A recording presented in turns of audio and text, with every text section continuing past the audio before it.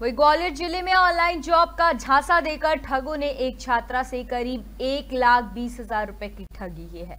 बता दें कि यह ठगी का मामला गोला का मंदिर इलाके का है, जहाँ ठगों ने छात्रा को टेलीग्राम पर मैसेज कर जॉब ऑफ़र किया। इसके बाद कुछ छोटे छोटे टारगेट दिए गए, जिसमें पहले प्रॉफिट दिया गया, जब छात्रा बड़े टास्क करने लगी तो उससे डिपॉजिट करा दिए जाते थे। ऐसा करते करते एक लाख बीस हज़ार रुपए जमा करा दिए गए। वहीं जब छात्रा ने टास्क पूरा करने के बाद कमाए हुए रुपए निकालने चाहे तो वह नहीं निकले। वहीं जब छात्रा के करीब सवा लाख रुपए फंस गए तो छात्रा ने कंपनी से अपने रुपयों की मांग की। तो कंपनी कर्मचारियों ने उसकी कॉल रिसीव करना बंद कर दिए, जिसके चलते छात्रा ने ठगी का एहसास हुआ।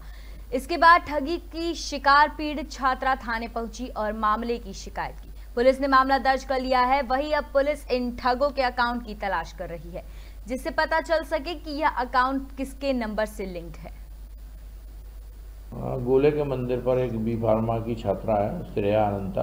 उसके द्वारा आवेदन दिया गया था कि उसको टेलीग्राम के माध्यम से मैसेज आया था। उसमें जोड़कर उसको बताया गया था कि आप एक प्रोफ़ाइल बनाए। प्रोफ़ाइल में जो है फर्जी रेटिंग देकर जो है उसमें आपको पेमेंट किया जाएगा। तो उसने और रिचार्ज स्वयं कराना पड़ेगा आपको। तो उसने फ़र्स्ट बार जो है छः हज़ार रुपये का रिचार्ज करवाया तो उसको सात हज़ार रुपये का पेमेंट आ गया। फिर दूसरी बार उसने दस हज़ार रुपये का रिचार्ज करवाया तो उसको तेरह हज़ार रुपये मिल गए। तो उसने लालच में आके लगातार रिचार्ज कराती रही और इस प्रकार एक लाख बीस हज़ार रुपये का रिचार्ज करा दिया और जब उसे पेमेंट वापस नहीं आया तो उसने जब तलाश करी तो वो पूरा उन्होंने जो नंबर थे, वो सभी फाल्स निकले और इस प्रकार इनके साथ साइबर फ्रॉड किया गया।